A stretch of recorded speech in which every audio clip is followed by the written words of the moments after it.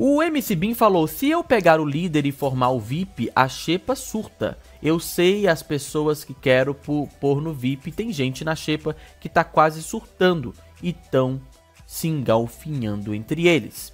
Aí o Rodriguinho falou: a Yasmin é uma delas. Aí a Pitel, Giovana tá P porque abriu a lata de doce e não viu o doce. E o Rodriguinho, a goiabada tá lá. Aí o Bim, mas é porque tava escondida. Gente, presta atenção. Esse elenco é um elenco que tende a ser um elenco que vai tratar muito ainda por conta dessa história toda envolvendo a Xepa e o VIP, tá? E eu já disse, eu acho que a Yasmin Brunet, ela ainda não apareceu no jogo, ela ainda não entrou na casa, digamos assim, porque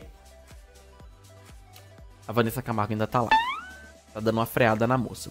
O Bin também falou que pretende montar um VIP polêmico pensando nas tretas da Xepa. Na conversa, os brothers comentam sobre como o Matheus está emagrecendo e já falou que ele tá meio pálido. A Alane também tá surtando na xepa. Se eu pego o VIP, mano, olha quem tá no meu VIP. Anne, que não é impulsiva, a Raquel, a Lady, que já distanciei do Marcos. Eu vou deixar só as que surtam na mesa. A Giovanni é um pitbull raivoso, tá? As únicas duas pessoas do VIP que são explosivas e não estão na xepa é o Luigi e a Lady. Eles estão se engalfinhando, disse ali.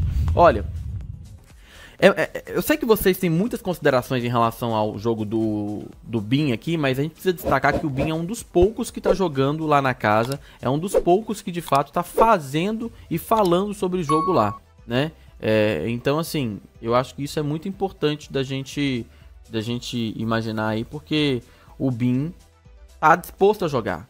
Quem não tá disposto a jogar são os demais. É isso que irrita a gente, é isso que deixa a gente, que, que tira a gente do sério.